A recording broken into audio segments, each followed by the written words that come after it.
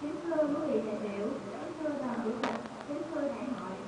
trong không khí vui tươi của, của diễn đàn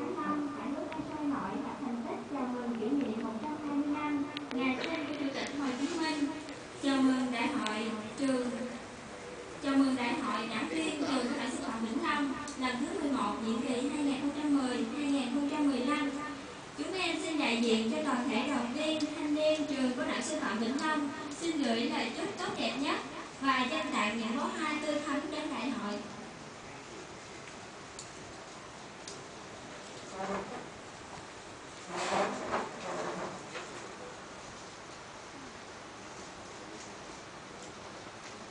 Kính thưa quý đại biểu, kính thưa đoàn chủ tịch, kính thưa đại hội, chúng em rất vinh dự được đại diện cho toàn thể đoàn viên thanh niên của trường đến dự và chúc mừng đại hội đảng viên trường nhiệm kỳ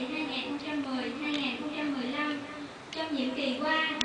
được đạo sâu sát của đảng ủy, ban giám hiệu nhà trường, sự hỗ trợ của các phòng ban, khoa, tổ, các tổ chức trong trường, công tác đoàn và phong trào thanh niên đã đạt được những kết quả khả quan. Trong năm qua, đoàn trường đạt danh hiệu đoàn trường vững mạnh, 17 trên 22 chi đoàn được công nhận là chi đoàn vững mạnh. Đoàn trường đã giới thiệu 111 đoàn viên ưu tú cho đảng bồi dưỡng và có 6 đoàn viên ưu tú được vinh dự đứng vào hàng ngũ của đảng.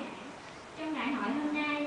chúng em mong rằng sẽ tiếp tục nhận được sự chỉ đạo sâu sát, sự quan tâm hỗ trợ của đảng ủy, ban giám hiệu nhà trường, sự hỗ trợ của các đơn vị trong trường đến công tác đoàn và phong trào thanh niên để hoạt động của đoàn trường ở sinh viên ngày càng thiết thực và đạt kết quả tốt hơn. Cuối lời, em xin thay mặt cho toàn thể đoàn viên thanh niên trong toàn trường xin kính chúc quý đại biểu dồi dào sức khỏe, thành đạt trong công việc và hạnh phúc trong cuộc sống. Chúc đại hội thành công tốt đẹp.